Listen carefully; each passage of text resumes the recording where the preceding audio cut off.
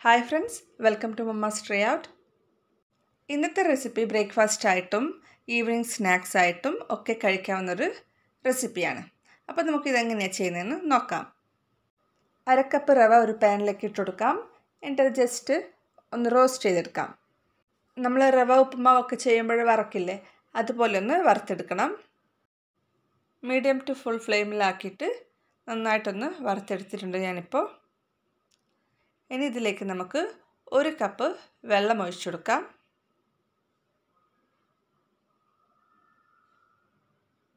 ഇനി ഇതൊന്ന് ജസ്റ്റ് ഒന്ന് മിക്സ് ആക്കിയതിന് ശേഷം നമുക്കിതിലേക്ക് കുറച്ച് ഇൻഗ്രീഡിയൻസ് ചേർക്കാനുണ്ട്.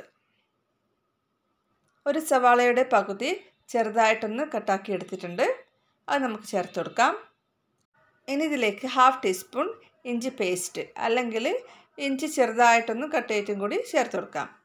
ഇനി ഇതിലേക്ക് അര ടീസ്പൂൺ മുളകിന്റെ പൊടി ചേർത്ത് കൊടുക്കുന്നുണ്ട്. നിങ്ങൾക്ക് മുളകിന്റെ പൊടിക്ക് പകരം നമ്മുടെ പച്ചമുളക് ചെറുതായിട്ട് അരിഞ്ഞിട്ട് ചേർത്ത് കൊടുക്കാം. പിന്നെ ഒരു പിഞ്ച് മഞ്ഞൾപ്പൊടിയും.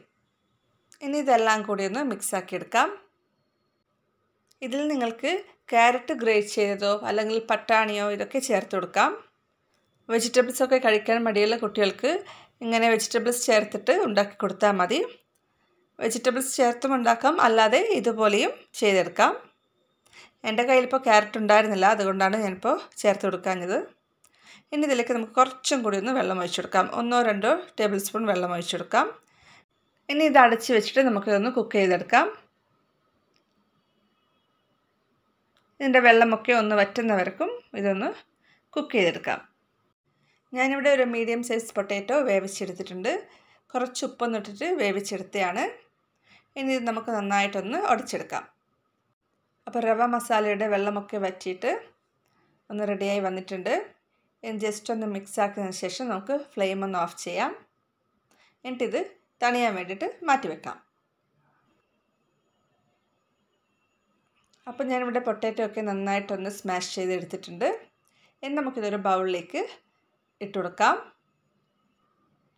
ഇനി ഇതിലേക്ക് നല്ല ഫ്രഷായ മല്ലിയില മല്ലിയിലയും കൂടി നമുക്ക് ചേർത്ത് കൊടുക്കാം. കുറച്ച് അതിനിപ്പോൾ അളവും കാര്യങ്ങളും ഒന്നുമില്ല. അത് നമുക്ക് നമ്മുടെ ടേസ്റ്റ് അനുസരിച്ചിട്ട് കുറച്ചൊന്ന് ചേർത്ത് കൊടുത്താൽ മതി.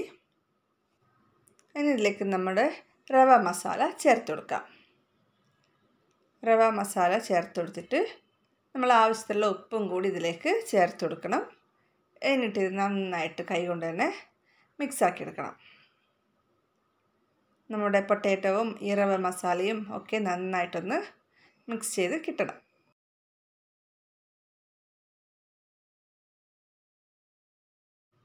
അപ്പം ഞാനിവിടെ നന്നായിട്ട് മിക്സാക്കി എടുത്തിട്ടുണ്ട്.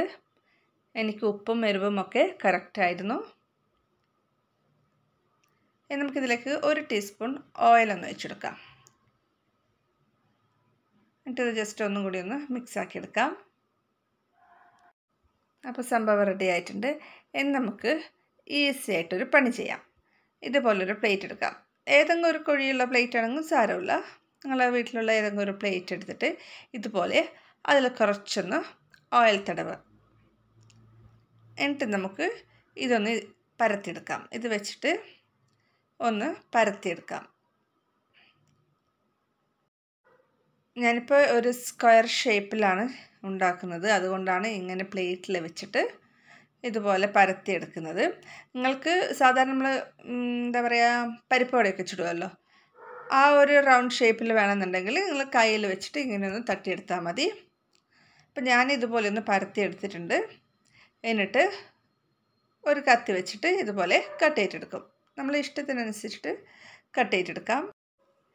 കഴിക്കാൻ മടിയുള്ള കുട്ടികൾക്ക് ചെറിയ ചെറിയ പീസാക്കിയിട്ട് അല്ലെങ്കിൽ ചെറിയ ചെറിയ ഏതെങ്കിലും നല്ല ഷേപ്പാക്കിയിട്ട് കട്ട് ചെയ്തിട്ടൊക്കെ ഫ്രൈ ചെയ്ത് കൊടുത്തു കഴിഞ്ഞാൽ അവർക്ക് നന്നായിട്ട് ഇഷ്ടപ്പെടും.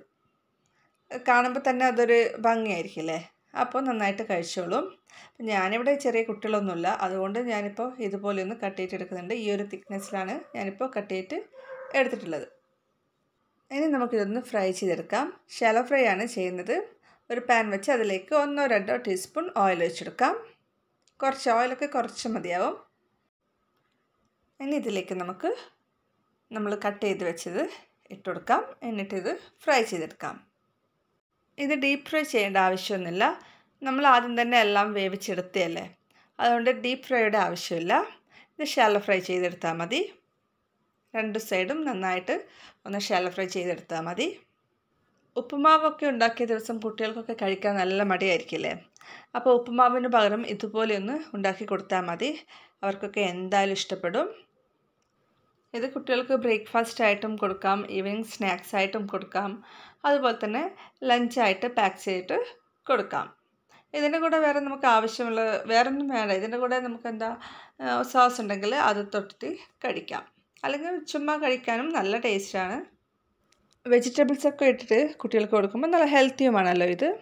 അധികം ഓയിലൊന്നും നമ്മൾ ഇതിൽ ചേർക്കണില്ല നിങ്ങൾക്ക് വേണ്ടിയിട്ടുള്ള നെയ്യിൽ പൊരിച്ചെടുക്കാം. ഇതിൽ സാധാരണ ഓയിലിന് പകരം നെയ്യിൽ ടോസ്റ്റ് ചെയ്തിട്ട് കൊടുത്താലും മതി.